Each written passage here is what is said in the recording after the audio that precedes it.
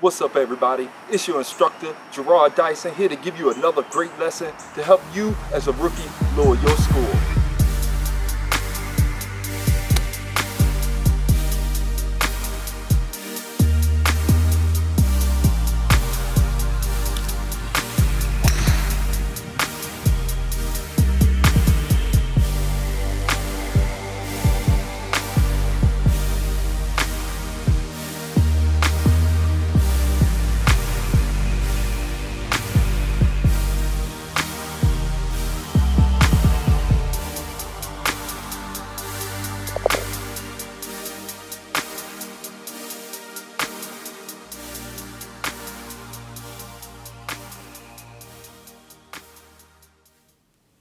Welcome back everybody. Thank you so much for coming by. If you haven't got a chance to subscribe, please take a moment to hit the subscribe button above or below the video. I would love to have you as a part of the family. Now for those of you that may not know, I put an email address at the end of each video so that you, the viewer, can write me and I'll be able to try to answer the question for you live on these videos, okay? So today we're going to go ahead and get started.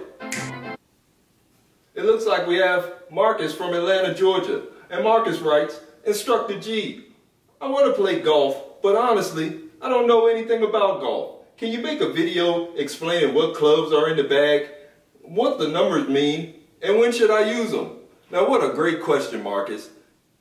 What we're going to need for today's lesson is our golf bag. And I'm going to show you all what's inside the golf bag and what you're going to need before you get to the golf course or go out to the practice range. So let's go ahead and get started with today's lesson. Welcome everybody to the classroom.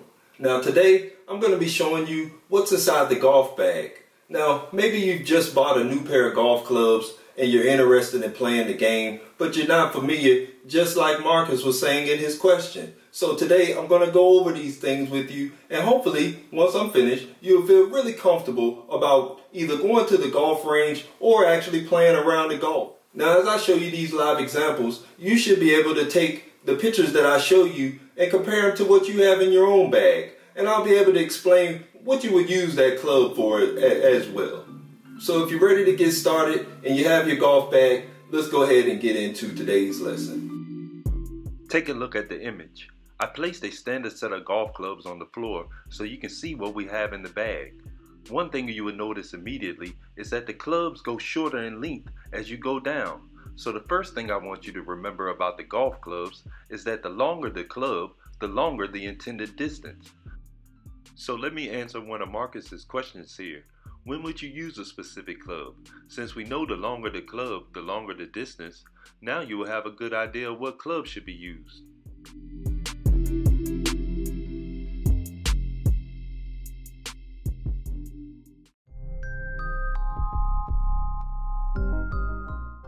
So the driver is usually used as the first club because it hits the longest distance.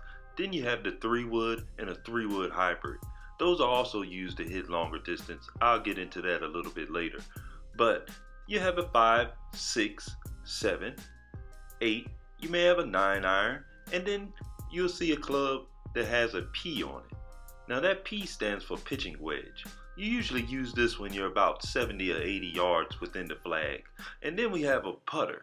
Now, most people know the putter because, uh-oh, someone must be falling asleep in class. I told you guys.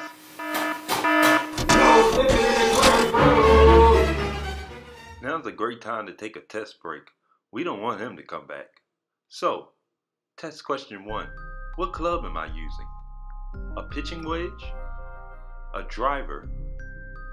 Or am I using a 5 iron?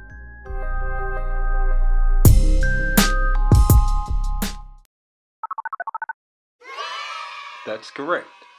The driver.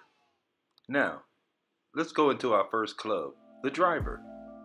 Looking at the driver, you'll realize that the face is very big.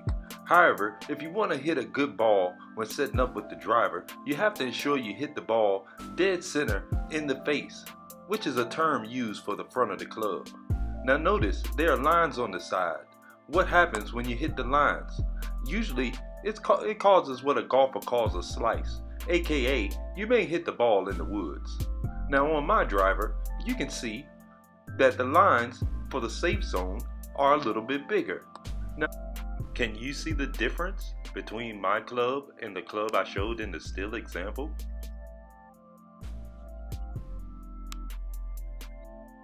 Great, now let's move to the next club, the 3-wood hybrid. This club looks similar to the driver, but of course is a bit smaller and the face is smaller. You will also notice that the 3-wood club is kind of flat on the bottom of the face. This is because it's commonly used to hit the ball off the ground. Notice that the bottom of the face is a bit more flat than the bottom of your driver's face.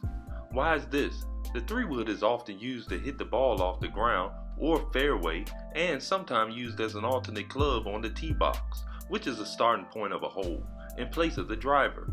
Are you all with me? Good, then let's keep pushing. We're almost done. The next club we will discuss is the irons. As you can see in this example photo, as the numbers go up on the irons, the loft or tilt of the club tilts back more.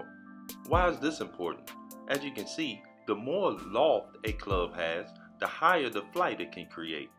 So, now that you know the higher the number on the club, the lower the intended distance, and that the higher the number on the club, the more loft it has for higher flight, you should be good to go. I'm holding up a 5 iron so you can see that the loft is not as steep as the 9 irons loft shown in the photo. Now I hold a pitching wedge so that you can see that the loft of the wedge is tilted more than what you've seen on the 5 iron. I went outside so you can see an example of what the loft of my 6 iron looks like from your point of view. Can you see it? Oh no! No worries. False alarm. Now's a good time to have our last test question. What club am I using? Notice I'm right by the flag, about 15 meters away. Now remember, I'm only going a short distance.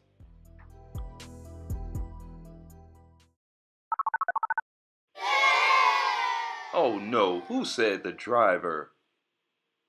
The correct answer is pitching wedge. Don't upset the kids. Let's go into the final club, the putter. You look at your putter you will see it may have lines on the face. The lines are there to assist you in hitting the ball in the center, which helps you create a straight putt. Now there are many different types of putters. As you can see, this putter looks different. Wider lines on the back and a bit fancier as well. Let's close out with the golf bag. If you look at your golf bag, it should have multiple storage compartments to store items. The zip cover at the top is to protect your clubs from inclement weather, which can occur while playing around a golf. You also have slots to place your golf balls for easy access. There are sections for you to organize your clubs along with the strap to assist you with carrying. Alright, you all did great. Let's head back to the classroom. Okay, I hope that everybody has a better understanding of what's in the golf bag. Just remember, the longer the club, the longer the distance. Now, I want to say congratulations to my nephews and niece, Dorian, Mia, and Layla, for their graduation to the next grade. And I also want to congratulate my little from the Big Brother and Big Sister of Atlanta program, Michael Neal. Now, Michael told me that he can do a better magic trick than me. Now, Michael, I know you like dinosaurs, but try to do a better magic trick than this.